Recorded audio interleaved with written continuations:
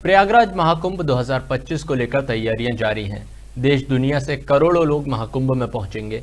इसी क्रम में उत्तर प्रदेश के मुख्यमंत्री योगी आदित्यनाथ ने छत्तीसगढ़ के मुख्यमंत्री विष्णुदेव साय को महाकुंभ में शामिल होने का आमंत्रण भेजा है।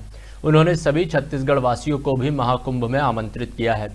सीएम योगी की ओर से उनका आमंत्रण लेकर इलेक्ट्रॉनिक्स मंत्री सुनील शर, कुमार शर्मा और समाज कल्याण मंत्री संजय गोंड ने मुख्यमंत्री साय से सौजन्य मुलाकात की।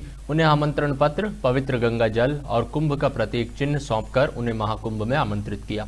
इस दौरान मंत्री सुनील कुमार शर्मा ने सीएम साय से यह भी आग्रह किया कि कुंभ स्थल पर छत्तीसगढ़ का भी एक पंडाल लगाया जाए।